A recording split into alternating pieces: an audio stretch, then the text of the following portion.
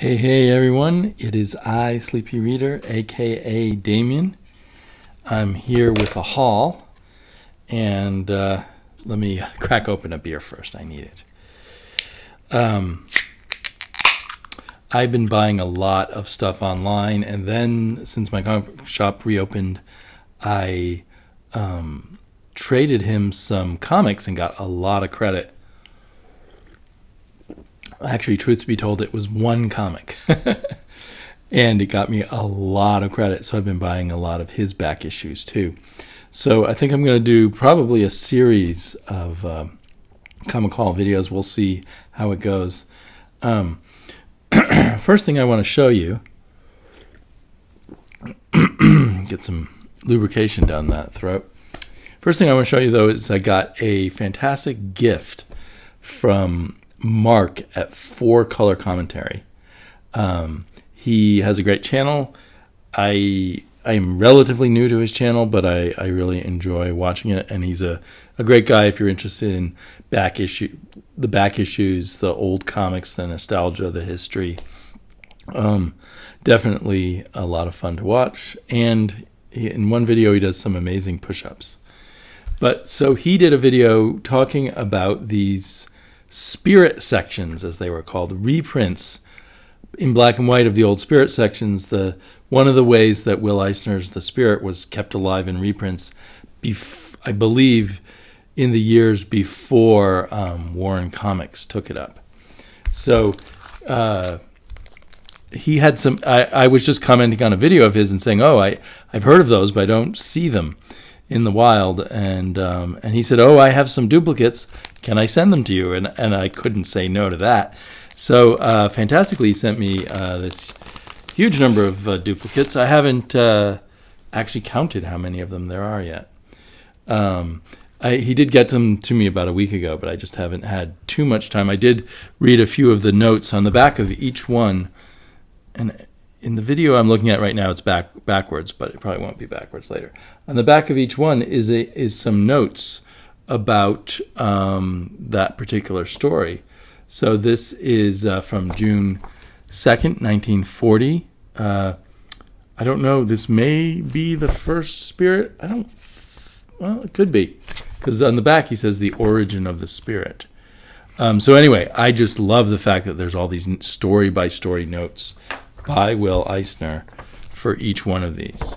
So each one of these is just um, four pieces of paper because they're they're eight they're seven page stories plus the note at the back. I don't know if Eisner was publishing them these himself or a different publisher. There's no mention of the publisher at the time. It says collector's edition, copyright 1972 by Will Eisner. Um, when did the Spirit magazine come out? I want to say it started, I'm guessing, in 74, 75. Um, yeah, October. The the note is even signed with the date October seventy two there, for the June sixteenth. These appeared in the newspapers. They were in color, um, but I think they actually look better in black and white. So these are the uh, the very early spirits. Eisner would have been a very young man there. Then he went off to war, and other artists. Uh, uh it's not something that's hidden from anybody who's an insider of comics who the other artists were people like Lou Fine, uh, but other artists took over the spirit from Eisner while he was off at war.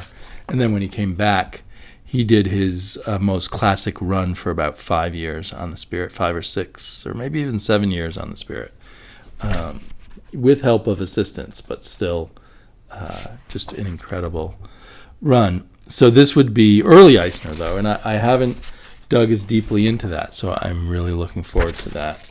And I'm just so excited about reading those notes. And I have to see if there's a whole bunch more that I can get. Um, but this is a really nice supply of them. There's July 14th. This is uh, Eisner just beginning his uh, his tricks with the splash page to get people's attention in the newspaper. Um, this is uh, July 21st, practically today, but um, 60, no, uh, 80 years ago. July 28th, coming up. That's uh, interesting stuff. And as most of you probably know, you know, Will Eisner kind of, as he went along during the 40s, um, in the spirit, invented so many of the tricks of the trade and the art form of comics. So, um, uh, not only do I just love the spirit stories, but it has that um, that uh, his uh, comic book history aspect to it that I love. So, and then the last one I got was August 11th. So, this is an incredible starter pack for me on this kind of the spirit. Someday I'll do a video where I show you all the different ways I've collected the spirit, because I do have some of a handful of those original spirit sections from the newspaper. They're in terrible shape. Um, the newsprint from a newspaper really does not last. Um, but I don't have any of these really early ones. Um, I have ones from the late 40s, I believe. So, um, and an interesting thing, I don't think it's these ones it's talking about, but in this Inside Comics from spring of 1974, and as I said, these were October of 72. Yeah, all of the notes are from October of 72. So they were probably published as a package, I'm assuming. Um, and I used to see them advertised every now and then in some little advertisement at the back of Warren magazines. I think they just called them the spirit sections or something like that, but I've not seen them mentioned too often in too many places. let me put these back in the bag. So anyway, uh, deep thanks to Mark, and uh, so he's a, a, solid man down there in uh, Oklahoma, and uh, I will, of course, link to his channel down below. He certainly deserves more more people. So, uh, just on the subject of the spirit, one little item in this Inside Comics from 1974 was about the upcoming Spirit magazine, and it's it a little um, subtitle that says "Spiritually Speaking," and it just reads. Uh, spiritually speaking, now that Warren Publishing Company has contracted Will Eisner to produce a bi monthly spirit magazine, the company has been buying up all the existing supplies of spirit material in the hopes of cornering the spirit readership. So I assume they they bought up those spirit sections, and that's why I would see them for sale in the backs of Warren magazines. Because Warren, I think Warren basically created their own catalog of nerdy good things, which they sold at the back of their magazine. All kinds of things, even like uh, reel to reel recordings of things and uh, like uh, old old uh, radio serials and uh, you could buy movies from you know old monster movies from them and all kinds of things. Anyway um, so now they've uh, contracted to produce this uh, spirit magazine. The company has been buying up all the existing supplies of spirit material in the hopes of cornering the spirit readership. Quote I don't want anything competing with my product on any level, said publisher James Warren. We're in business to survive and make money, and to survive, you have to eliminate all the competition you can. Chief among available spirit material was Krupp Comic Works, the Spirit Number One and the Spirit Number Two. So are those the underground ones? I thought those were kitchen sink, but maybe that was called Krupp, or maybe Krupp is something else I don't know about. In order to stop further distribution of the underground book, Warren Publishing bought up the complete print run of both books. Tyler Lancey, business manager of Krupp, told Inside Comics reporter Ron Steinitz that Warren bought everything we had, lock, stock, and barrel, and he paid 23 and a half cents a book for them. James Warren, however, refused to comment on the price of the books. What we pay for our merchandise is private, he later commented that his real comment is that Lancey is wrong. Still later, however, he admitted that there are many ways to look at the price of an item. so I don't know what that all that's about, but uh, I think it's kind of funny because I have a feeling if I stumbled across uh, some underground publisher publishing the uh, Spirit, that would have led me to buy more of those Warren comics. But anyway, that's the way that's the way Jim Warren saw it. I just thought that was an interesting tidbit. I've I've gotten a bunch more of these Inside Comics, so I'll probably have little tidbits from Inside Comics to throw out every now and then. I'm not going to pile them all up there because they're all going to start sliding down. So there's already a big stack of comics sitting over there. The ones I decided to save for a, another, some of the ones I decided to save for another haul. So another thing I did um, involving my fellow geeks was there's a fellow I follow on Twitter who's been selling off bits of his collection, I think because he's unemployed. And I don't recall his name off the top of my head. He's someone I've just been following for a little while on Twitter, but he's pretty cool. So I'll try to put his Twitter down below. But one thing he was selling was the entire run of The Wake by Scott Snyder and um, Murphy. I can't remember Murphy's full name. Sean Murphy. Um, the Wake. And this is one that I originally decided to trade weight on because already at the point this was coming out, I was starting to think I preferred Snyder in trades. But I never did buy the trade, and um, chances are it doesn't have very good binding anyway. So uh, I am glad now to have bought the entire run uh, in floppies. I can read it and, and see the art the way it should be seen, so to speak, uh, where you can lay it out flat. So I've got the wake one through. Is it one through ten? Uh, I thought it was one through eight. Um. So I remember people talking about this being a weird thing where there was a first half of the story that they really loved, and then this sudden disconcerting change. There's number five of ten, and number six of ten. And I, I'm really even if it weren't written by um, by Scott Snyder, I would be very interested in this because of the Sean Murphy art. And that is seven of ten 8 of 10, yeah, so they did publish 10. 9 of 10.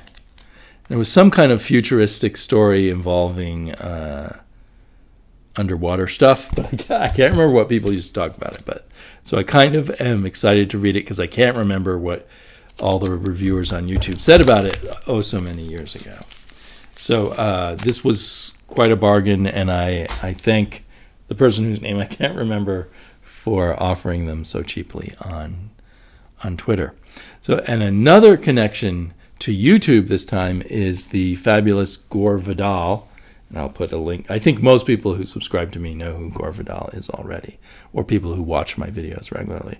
But I will put a link to Gore down below, and maybe to the specific video where he talked about Kelly Green, uh, this European comic book album series that was done by the American comic strip uh, creators Stan Drake and Leonard Starr. And um, so I swooped in after seeing uh, Gore's video on Kelly Green and got the complete Kelly Green, um, the complete collection off of Amazon because it's out of print. Um, well, that doesn't explain. I, mean, I was able to find it in the Amazon marketplace and uh, I think, and and it it's the only place you can get the English translation of the last graphic novel. It has all the graphic novels put in together, and this is a black and white edition. I think what Gore was showing was in color, so I'm just slightly bothered by that, just because I love color in comics. But um, on the other hand, and especially uh, the old European coloring is very interesting to me.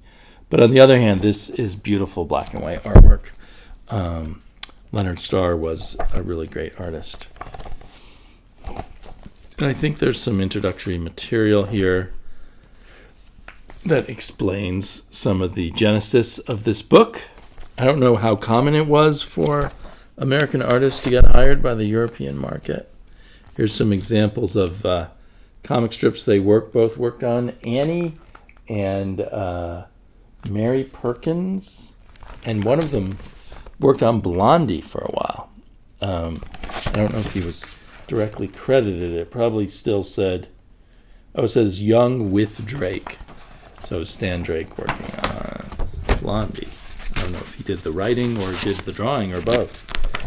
I'm trying to, I think, whoa. I thought there were some examples of the color covers, but I guess maybe there isn't. So anyway, I I really look forward to uh, digging into this, and it's a very nice hardback. Originally published by something called Classic Comics Press. There it is without the. Um, it has nice binding. There it is without the uh, without the cover, just a white cover. And then uh, while we're talking on trades, um, a couple of the trades I got recently is I got this thing called Watchmen Companion. And I thought when I was reading the description on In Stock Trades that it combined um, Dave Gibbons watching The Watchmen with some other material, like an omnibus of extra Watchmen material.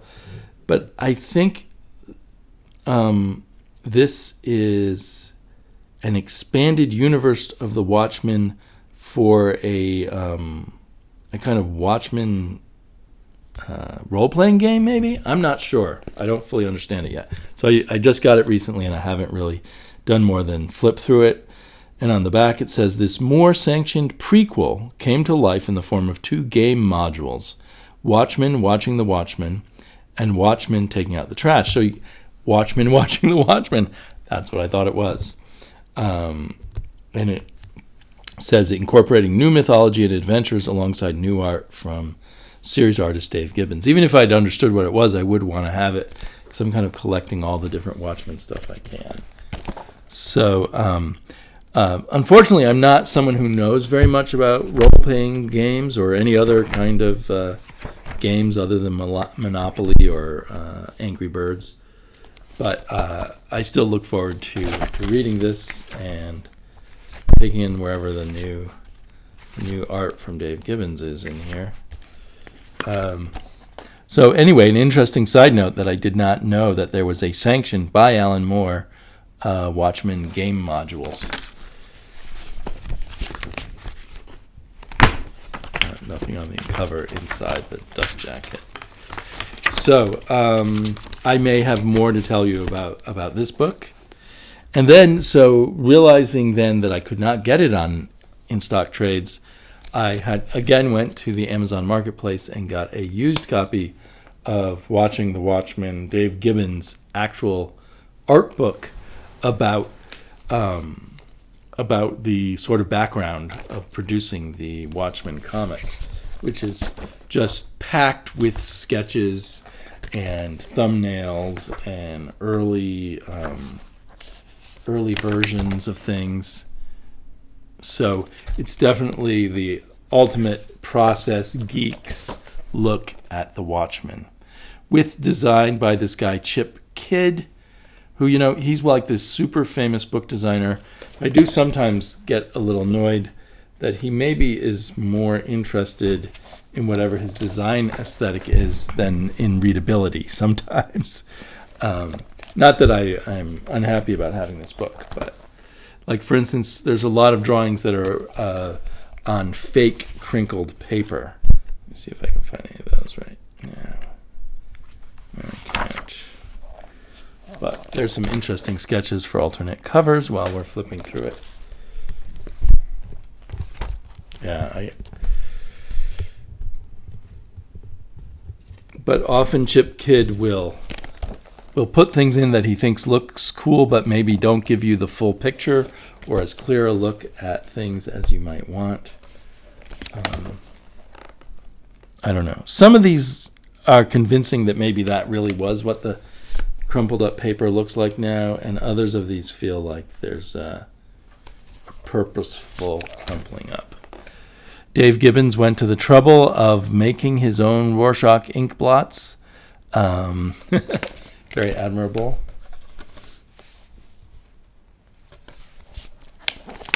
There's there's some more stuff. Also, the binding not as good as it should be. Let me guess, was this published by no? published by Titan Books and DC Books together.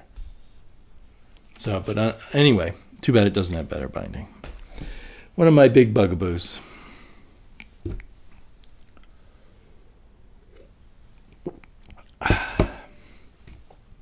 So, why, you ask, was I wearing 3D glasses? because one of the things I ordered online was 3D laser laser eraser and press button, which um, actually comes with its own 3D glasses that I think you have to kind of build. Like you, here's the, uh, I think these are the, wait, there we go. So you have to kind of build your 3D glasses or put them together. And I'm lazy, so instead I, uh, I already had these ones sitting around. Uh, so I can look at this 3D so I didn't realize until just recently that that they did some laser eraser uh, stories, original stories for the American market. There, it wasn't just um, the British stories brought over from Warrior magazine to be reprinted by Eclipse, and I don't know why it always tickles me to get um, 3D things. This is not this is not the greatest 3D comic actually. Um, but if you have 3D glasses there, maybe you can take a look at the screen and get a little idea. I mean, the 3D effect is not that useful. And along with this, I, I grabbed some other issues uh, online of Laser Eraser and Press Button.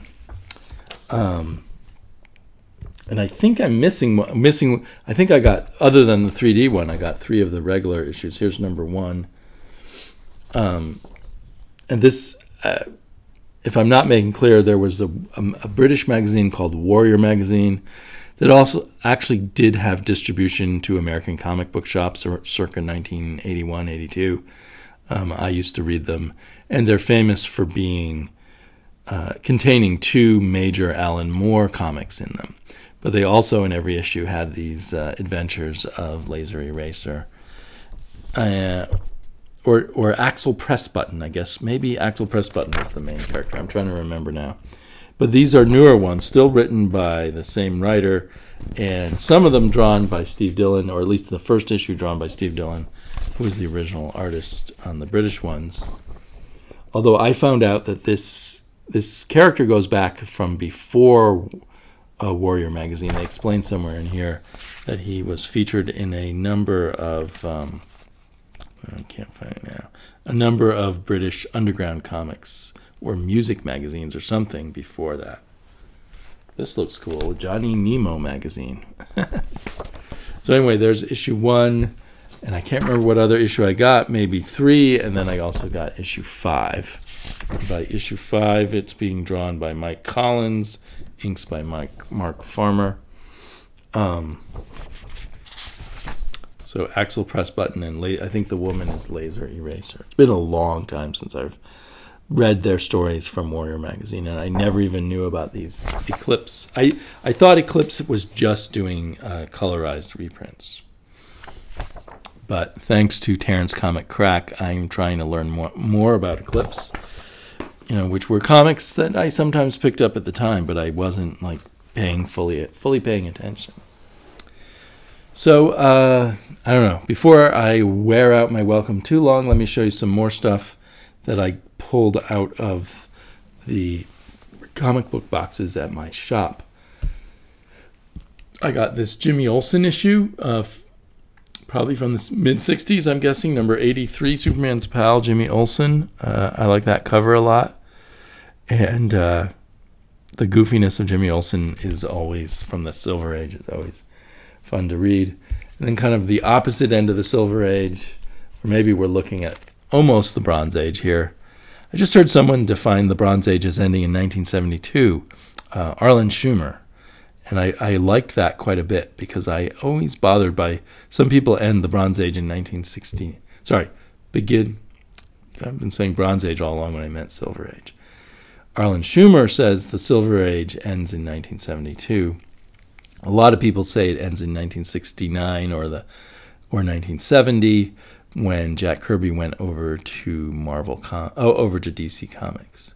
But anyway, it always f- it, it feels 72 sounds good to me. 71, 72 maybe. Anyway, so this is probably from 1970. It's Captain America number 36 with I'm not quite sure. I think it's a Sal Buscema cover, but it might be John Buscema. Their styles were very close together at this stage, um, and it might depend on who inked it. But on the inside, it's uh, Gene Colan, Gene Col, Gene Colan, inked by um, Bill Everett, I believe, who was a very good inker along with all his other accomplishments. Is this the one that's inked by? Yeah, Bill Everett and embellisher. And it's not easy, I suspect, to do a good job inking Gene Colan because of the the way Gene's pencils were. Anyway, really nice issue, nice copy, or at least for me, a nice copy. I was very happy to get that. And then I got um, Captain America and the Falcon number 140, uh, still probably 1970 and probably from 71 i'm just going by the price pricing on the covers uh, 145 captain america and the falcon. Um, that's a john romita cover i'm positive. and actually this other one is definitely a john romita cover. I don't, john romita did not always sign but sometimes did. And here in the corner sideways is a jr um, great covers. John romita was pretty incredible Oh, that's water. Here's the beer. And then out of the cheap box, I guess because of the egregiously torn cover there, is this wonderful issue of Dead Men, of Challengers of the Unknown with Dead Men, uh, Neal Adams cover. And strangely, the cover just feels really nice, even though it's obviously been abused in many ways. Um, but it's it's a story with art by oh well there's another reason for it having been in the cheap. I didn't even notice that before uh, having been in the cheap bins. But uh, so the first half is drawn by George Tuska a very nice George Tuska. I guess he's inking himself perhaps and that might be might have helped a lot. And then the second half of the story uh, is drawn by Neal Adams. So it's kind of odd to have this uh, hidden Neal Adams portion of the story at the end. Or is it a separate story? I don't think it's a. I don't think it's a second story. Because the challengers are still there and Dead Man's still there. Um, so I think I, I might want to keep an eye out for this story, for this comic in better condition, although this is a perfectly fun reader's copy. I do get, I particularly don't like it when the cover is not attached to the rest of the comic.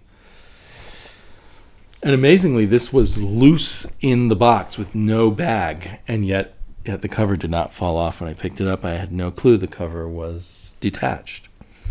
In the same box, I got this House of Mystery and what I love about these things is it's like op- opening up that box of Cracker Jacks and not knowing what the prize will be inside.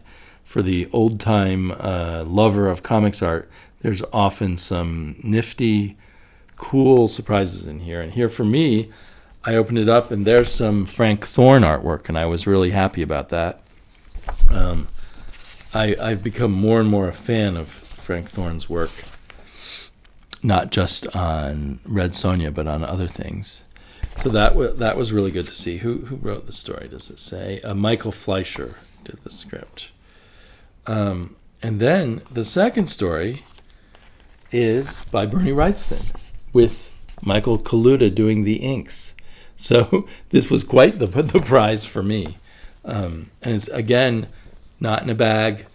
It was in the cheap bin because of that rip on the back cover, and yet other than that rip, it seems in very nice shape. Anyway, I'm happy to have it as a reader copy. Another reader copy was this uh, Phantom Stranger. I'm slowly picking up more and more Phantom Strangers, although I, I think maybe they're coming out with an omnibus. And sometimes I prefer to get things like this in an omnibus. This has um, Fred Carrillo art, Paul Levitz writing. So I was thinking it was going to be Jim Aparo I think that's a Jim Aparo cover, but um, looks really nice.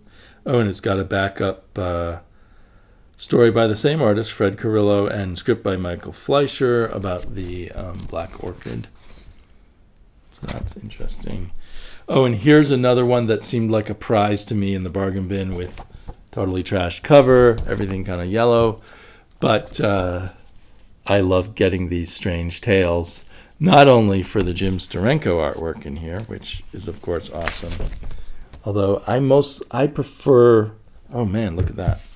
There's the rest of the cover. Feels like it was burnt or something. What happened to this cover? It's toasty. Um, I like, uh, for some reason, Steranko I like getting in the really slick omnibuses, and now there's going to be one of those giant size Sterankos, and I'm definitely going to buy that. But even somehow, this is very cool though. Uh, cool Steranko stuff. Even more exciting to me somehow, because I just wasn't expecting it, is this really cool Dan Adkins um, Doctor Strange artwork in the back with this guy with three heads. What was his name? I always forget. It says the three faces of doom. What is this guy's name? They're not saying his name. Hmm. the Living Tribunal. I knew he had a weird name. So I look forward to that. And it's written by a writer I never heard of, Jim Lawrence. And it's interesting because the credits are kind of confusing if you uh, didn't know how to interpret. Stan Lee eminently MCs this Jim Lawrence, Dan Adkins planetary pulse stopper, lettered by the quivering quill, quill of Al Kurzrok.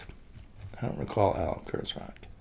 So, um, who was Jim Lawrence? I don't know. Does anyone know? Was that a pseudonym for someone else, maybe, who was working at DC? But I love I love this Dan Adkins artwork. I mean, it's like Wally Wood, I suppose. Uh, it's like having Wally Wood draw. Um, I guess what do I do with this piece? I don't know.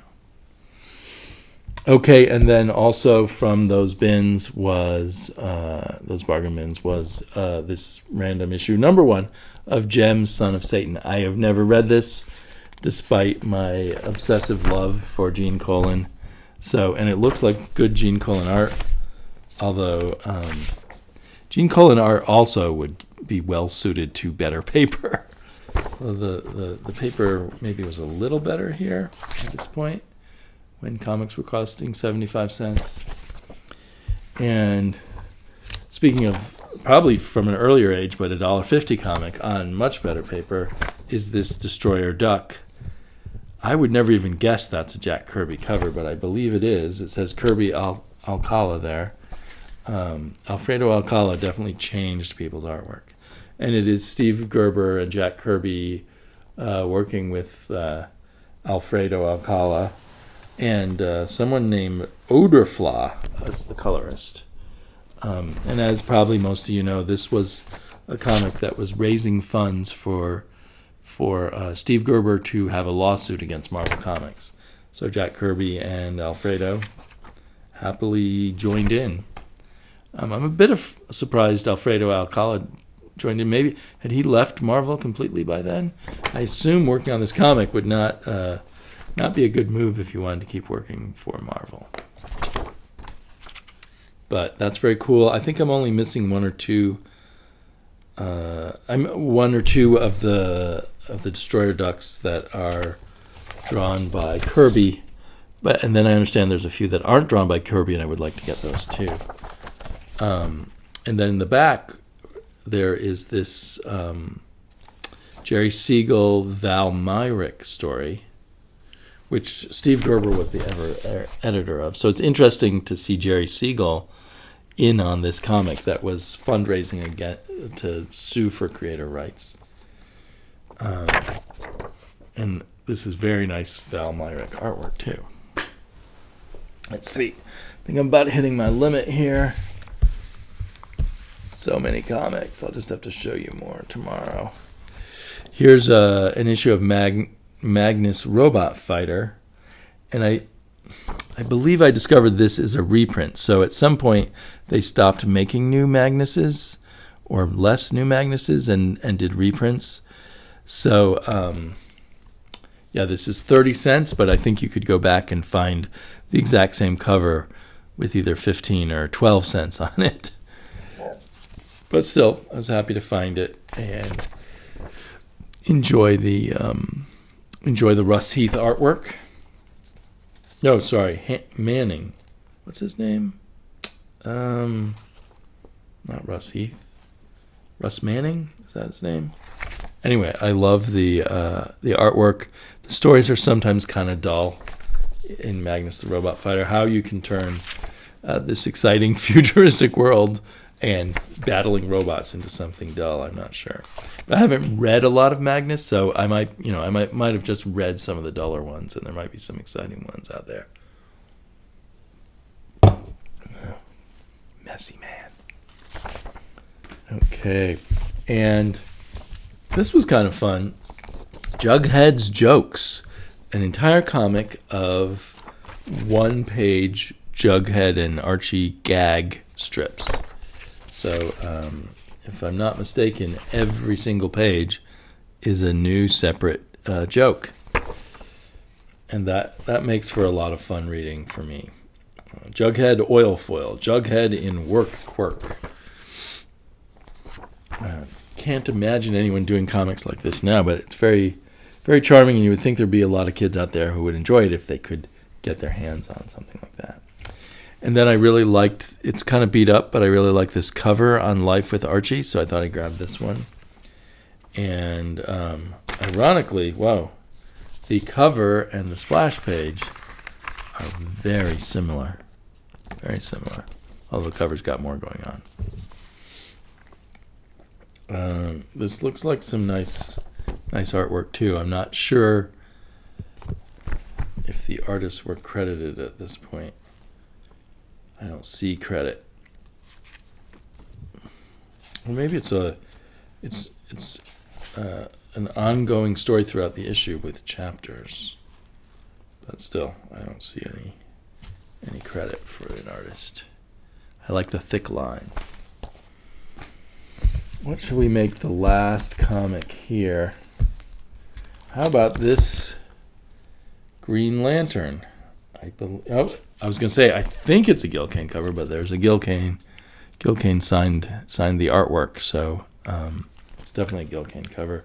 Very different from the covers later on by Gil Kane that we saw all over all over Marvel Comics that were just kind of non-stop, twisty, battly kind of covers. Let's see if the in- interior is. This one's in. Well, the back cover's in not so nice shape, but um, I only buy for readers' copies, but I still enjoy it when I do happen to con something. Story by Denny O'Neil, art by Gil Kane and Joe Giella. So that's that's quite cool. So this might be, I'm I'm just guessing, shortly before they rebooted Green Lantern as Green Lantern Green Arrow and uh, threw in the politics. This is from 1969. When did that famous run happen? Was that 71, 72? No, it was probably 70. So I think it's coming up right after this. Okay, thanks for joining me. Hopefully, I will find the free time from my family to make some more haul videos because I got a lot more haul to show you and I enjoy doing it. And um, thanks again to Mark at Four Color Commentary. And um, thanks to Gore Vidal for making his his video that led me to the Kelly Green. And uh, I also have a lot of other things that I wanted to kind of make little videos about. I at one point I was fantasizing, oh, I, I have so much material I'd like to go through. I could make a video every day. Um, but I don't know if I'm going to get to that. My uh, my daughter being at home full time is just making me full time friend, valet, butler, chauffeur, and what else, whatever else you've got to this uh, young girl who can't see her friends or go to camp or what, go to school eventually. So, uh, talk to you all later.